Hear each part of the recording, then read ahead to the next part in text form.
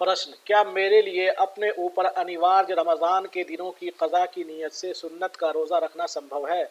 इसी तरह, क्या मैं नफली रोज़े उदाहरण स्वरूप आशूरा के दिन के रोज़े की नीयत से ऐसा कर सकता हूँ? उत्तर, हर प्रकार की प्रशंसा और गुणगान केवल अल्लाह ताला के लिए योग्य है।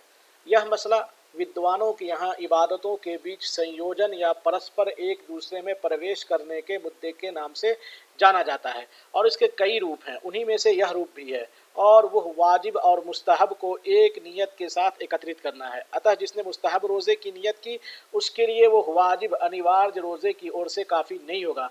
चुनाचे जिसने आशूरा की नीयत से रोज़ा रखा, उसके लिए वो रमज़ान की कज़ा की ओर से किफ़ायत नहीं करेगा। और जिसने रमज़ान की कज़ा की नीयत की और उसे आशूरा के दिन रखा तो उसकी कज़ा सही है। और आशा की जाती है कि कुछ विद्वानों के निकट उसे आशूरा का तवाब प्राप्त होगा। रमली रहमल्ला नहायतुलमहताज में कहते हैं, यदि वह शवाल के महीने में कज़ा का या नज़र अर्थात मन्नत वगैरह का रोज़ा रखे या आशूरा जैसे दिन में उसका रोज़ा रखे तो उसे उसके नफल का सवाब प्राप्त होगा। जैसा कि पिता रहमल्ला ने बारिजी, असफूनी, नाशरी और फ़कीह अली बिन साल हजरमी वगैरह का अनुसरण करते हुए फतवा दिया है। लेकिन उसे उस पर निष्कर्षित होने वाला पूरा सवाब प्राप्त नहीं होगा, विशेषकर जिसका रमज़ान का रोज़ा छूट गया है और उसने उसके बदले शवाल में रोज़ा रखा है। रमली की बात समाप्त हुई।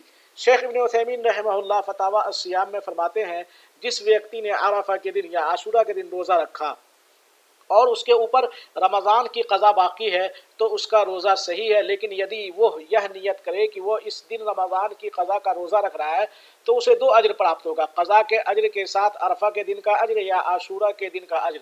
यह सामान्य रूप से स्वैच्छिक अर्थात नफली रोज़े पर लागू होता है, जिसका रमज़ान के साथ कोई संबंध नहीं है। परंतु जहाँ तक शव्वाल के छह रोज़ों की बात है तो वो रमज़ान के साथ संबंधित है और वो रमज़ान की कज़ा के बाद ही हो सकता है।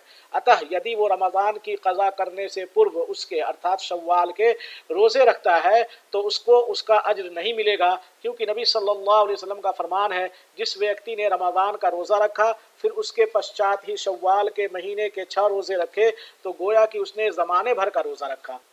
और यह बात सर्वज्ञ है कि जिसके ऊपर कज़ा बाकी हो तो वो रमज़ान का मुकम्मल रोज़ा रखने वाला नहीं समझा जाएगा। यहाँ तक कि वह कज़ा को मुकम्मल कर ले।